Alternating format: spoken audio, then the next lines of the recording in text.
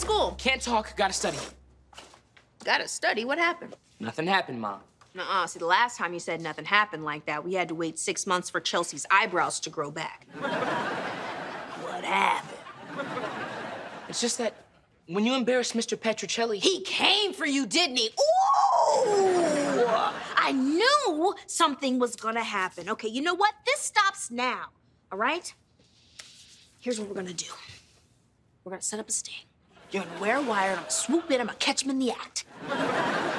or we can do nothing. Uh, excuse me, have we met?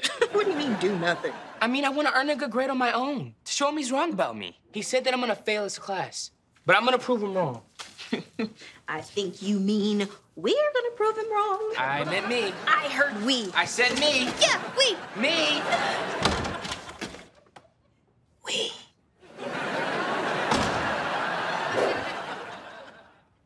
Done. I finally finished studying for my history test. No, you're not. Read these books European history, African history, and the complete history of sports, just in case he throws you a curveball.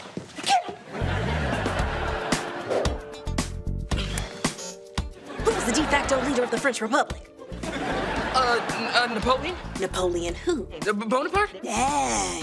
There you go, Booker. You gotta be thorough. Petracelli takes no prisoners like that Napoleon. What's, what's the name?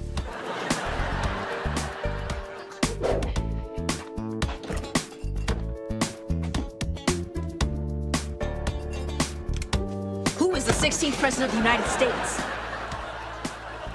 Come on, Mom. I'm tired. You know who doesn't get tired?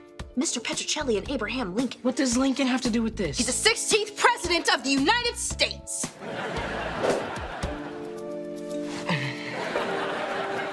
Who said I cannot tell a lie? George Washington. Oh, that's my baby.